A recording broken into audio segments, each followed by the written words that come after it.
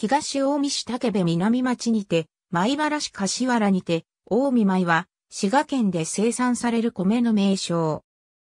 特定の銘柄を指すものではなく、滋賀羽二重餅など、もち米を含む場合もある。甲州米とも言う。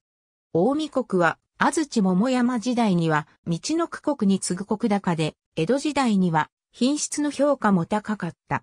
品質の高さは、米の品種によるものではなく、立ちにはない小琵琶湖層の図人、図人湖、塗りと呼ばれる粘土層に含まれるミネラル成分によるものと考えられている。またこの粘土層により生産過程での水管理の容易さが品質向上にもつながったとみられる。しかし、明治の基礎改正で品質が下落する事態に見舞われた。以後、品種改良などの取り組みが進められた。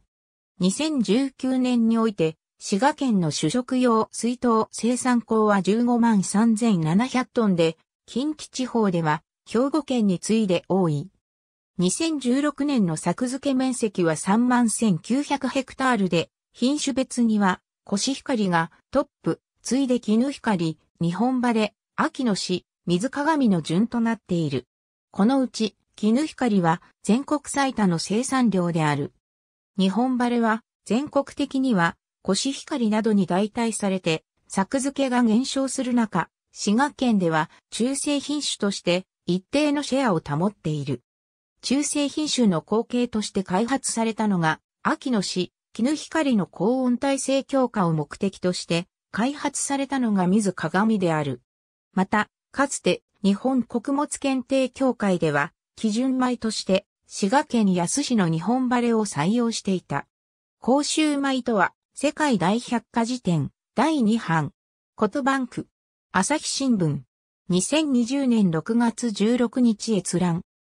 ABCDE 水鏡誕生日脇予報編の。時を経て、かつて日本の名物品と歌われた、大見米の実力とプライドを示した。オリジナル育種品種ご飯、彩り作物統計調査令和元年度から e スタッツのエクセルデータによるハット AB 主要品種大見米振興協会。ありがとうございます。